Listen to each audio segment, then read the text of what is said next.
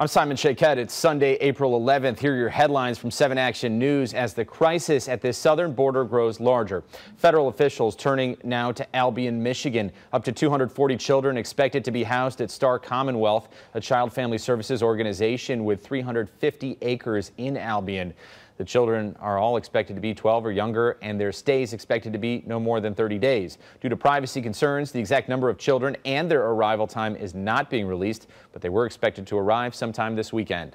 Now to the coronavirus in Michigan. As the surge in cases continues, Governor Whitmer is calling for high schools to return to online learning for two weeks. A small group of teachers gathered Saturday in Detroit calling for schools to close for the rest of the year. They say lives are being put at risk by keeping classrooms open before kids can be vaccinated. Schools in Detroit and other cities in Metro Detroit are planning a two-week pause for in-person learning at the governor's request.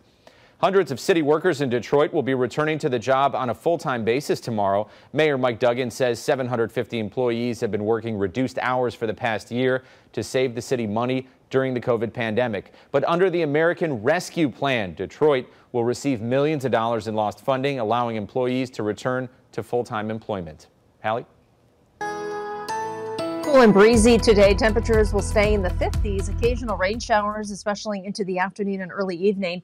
And more afternoon showers on Monday. High of 62 degrees will be in the upper 50s to low 60s all this week.